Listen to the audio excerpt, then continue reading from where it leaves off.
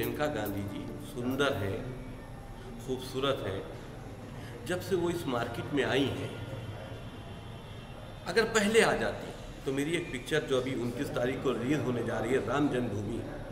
उसमें हम एक मुस्लिम लेडी को एक कलाकार की हैसियत से हलाला वाला जो सीन था, उसके लिए तलाश रहे थे। जिसमें हमने एक गुजरात की नाजनीन पटनी को हीरोइन के रूप में लिया है।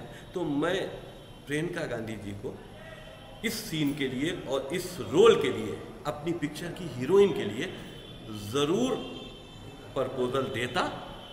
उनको फ़िल्मों में काम करना चाहिए वो खूबसूरत है। तो क्या लगता नहीं कि हलाला जैसी सीन पर उनको आप अगर एक्सेप्ट करते तो क्या इससे कुछ राजनीतिक या कुछ बवाल ना उठता? कांग्रेस को समझना चाहिए। देखिए ट्रिपल तलाक का विरोध कौन कर रहा है? कट्टरपंथी कुछ मुल्ला और या फिर कांग्रेस।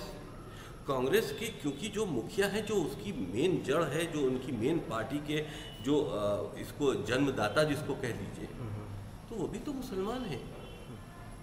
इंदिरा जी के जो लड़के थे वो भी मुसलमान थे और उनके बच्चे भी मुसलमान हैं।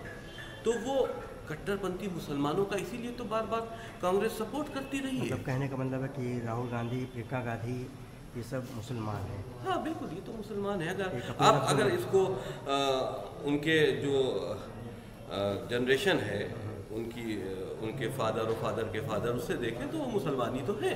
जिस काम के लिए भारतीय जनता पार्टी ने रखा हुआ है वो काम कर रहे हैं। बेहुदा बेतुके बयान दे दे के कोई अपनी हैसियत नहीं बनाते हैं।